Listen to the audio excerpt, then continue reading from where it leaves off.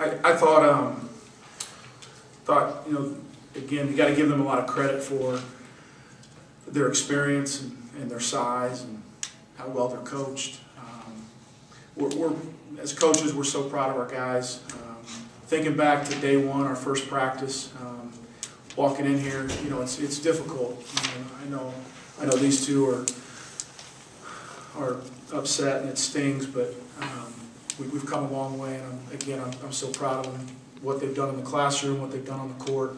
And, uh, I just, I can't say enough about how far we've come. Um, if you, if you got to see us the first practice, um, to talk about being in a state championship, um, I know I wouldn't have believed it, um, just because I knew how hard we had to work and how hard, how far we had to come. So, again, I, I'm, I'm proud of our team, proud of our leadership, um, but I'm also um, respectful of, of how good Washington is and uh, how good Cody Zeller is.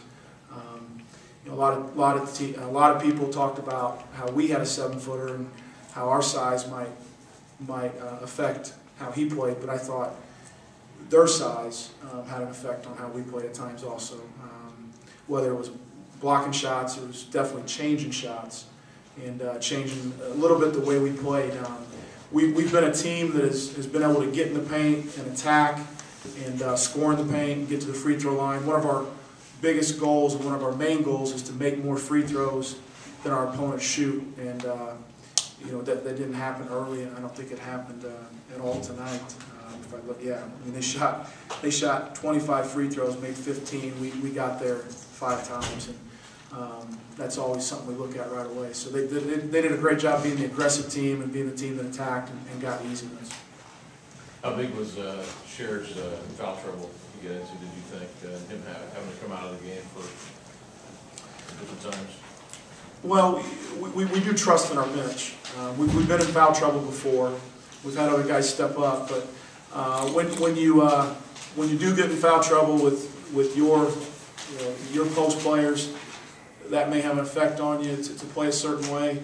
Um, I thought we played hard the entire game, no doubt about that, but I, I do think once you start getting in foul trouble and they're, and they're attacking, the team fouls add up. So when those team fouls add up, then they get to go to the free throw line earlier and more often. So foul trouble, that's, that's, you know, that, that hurts you that way. But, I mean, yeah, I mean, he, he needs to be on the floor, that's for sure.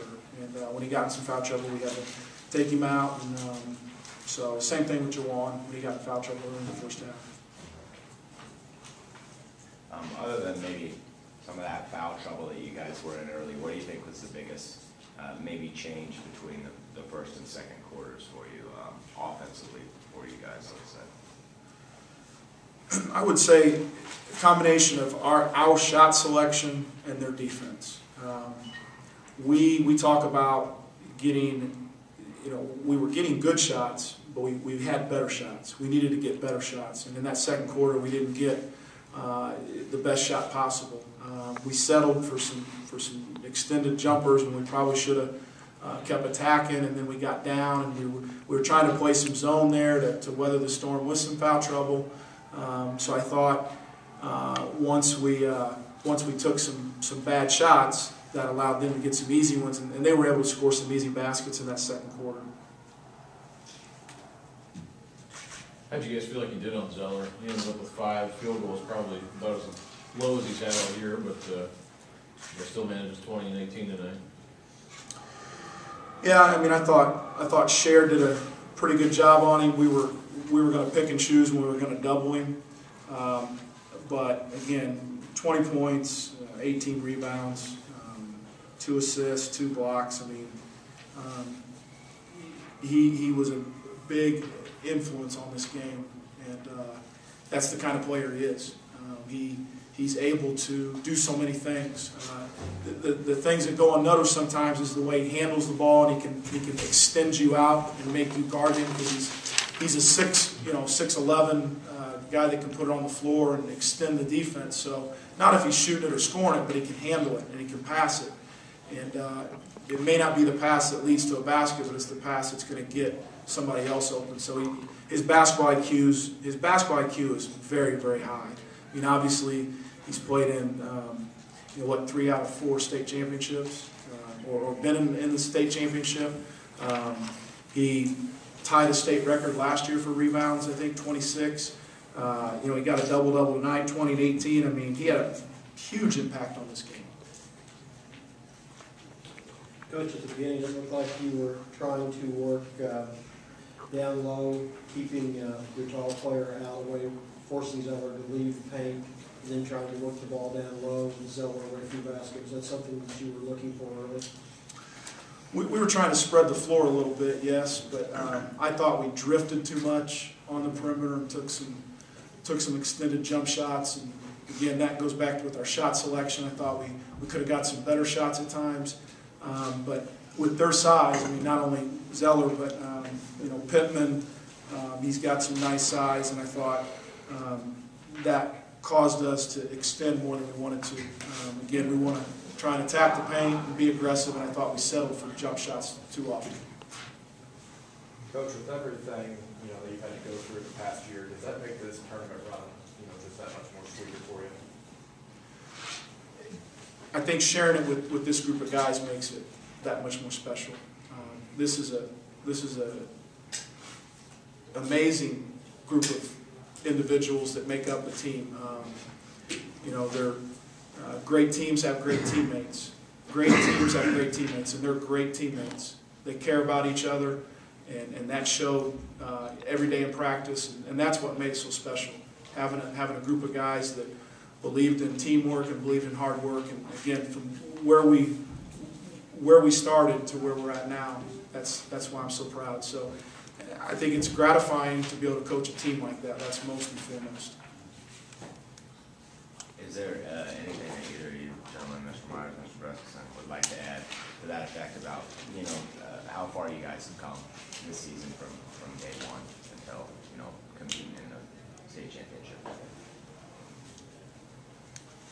Um, like I've said multiple times, uh, at the beginning of the year, we didn't know what to expect, and like Coach said, um, competing for a state title is a major accomplishment for us, and, you know, at the beginning of the year, just like Coach said, if any, anybody said we would have been here, I wouldn't have believed it either, but, um, we wanted, we wanted this bad, just to, just to cap our season off, but, you know, we fought and uh, we stuck together as a team as always. And uh, we came we fell short, but I would never, I would have never done it with a better team and a bunch of guys. And these guys are like my brothers. So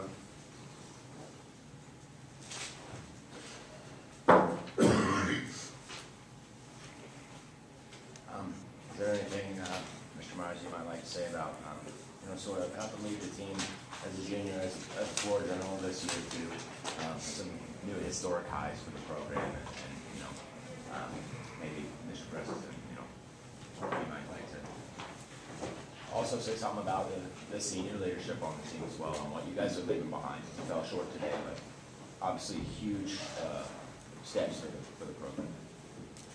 Uh, Yeah, we definitely had a great season. I mean, Culver's never been here before, and it was nice to get here. We wish we would have we have won the game, but we fell short. But um, these great group of guys, it's the best group of guys I've ever been around. Uh, I can't explain how much these guys mean to me, and it's been a wonderful season.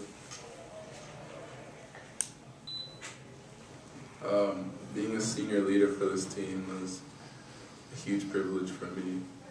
Um, Chier and I, we uh, we try to lead by example in what we do on the court. But the two guys that you, you don't really see, um, Hung Woo Khan and Peter Bin, um, they don't play, but um, they give us that intensity we need in practice, and they give us those looks. You know, those guys, they do anything just to step on the court. And uh, a lot of our success has come from those guys not only the two seniors, but the freshmen and the sophomores and the juniors, and all the way up. And um, I couldn't have asked for a better group of guys to lead because they listen and um, they're they're just willing to do anything for me, and I do the same for them.